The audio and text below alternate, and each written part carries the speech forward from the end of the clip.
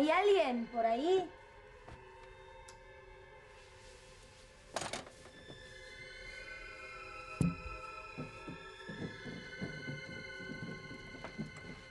Hola. ¿Vos me mandaste esto? Sí.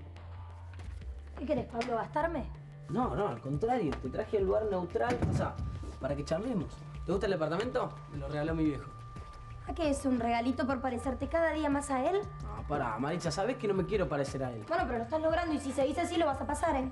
Pero, pero no puedes creerme. no- Yo no tuve la culpa del fraude, yo no organicé nada, fue mi viejo, con, con un par de pibes que creían que me quería ayudar, nada más. Pero te vino bien. No, yo quiero cambiar esta situación. ¿Qué vas a hacer? Bueno, ¿Vas a renunciar? no, renunciar no. Quería proponerte, no sé, compartir la presidencia del centro. Bueno, pero para eso tendrías que pararte frente a todo el curso y decir la verdad. No, no puedo. No, no, porque- lo tiro a matar a mi viejo y además me prendo fuego yo, no puedo, no. Entonces, rechazo tu propuesta.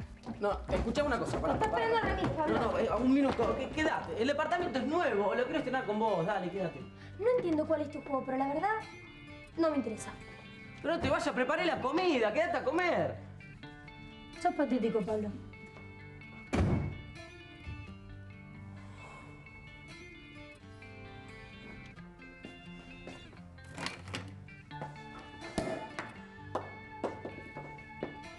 Salud, papá. Y mamá también. Gracias a ustedes, soy cada día más infeliz.